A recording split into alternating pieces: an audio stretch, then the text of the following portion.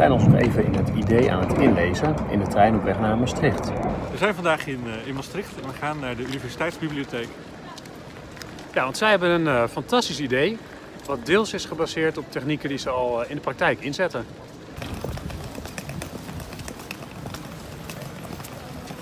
Dankjewel dat je, dat je ons wilde ontvangen vandaag. Kun je kort uh, vertellen wie je bent? Uh, ik ben uh, Gaby Lutgens. Ik werk bij de Universiteitsbibliotheek van Maastricht.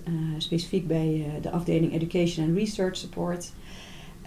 en ik hou mezelf voornamelijk bezig met innovatieprojecten of trajecten en e-learning support. Kun je iets vertellen over, over het idee wat je hebt ingestuurd? Ja, zeker. Um, we hebben een idee opgesteld om studenten die nu al in dienst zijn van de UB uh, andere studenten beter te kunnen laten uh, helpen bij het literatuur zoeken, bij het omzetten naar een plan voor een, een paper of een opdracht, bij het schrijven op zich. en daar hebben we nu zeg maar een, een, een spreekuur voor, dat studenten zelf organiseren.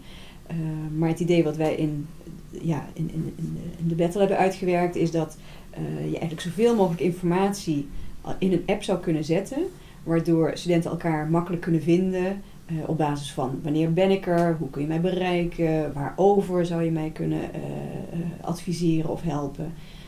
nou ja, goed, daar hebben we een, een, plan voor gemaakt. Dit was een leuk verhaal van Gaby. En volgende keer gaan we op bezoek bij de Universiteit Utrecht.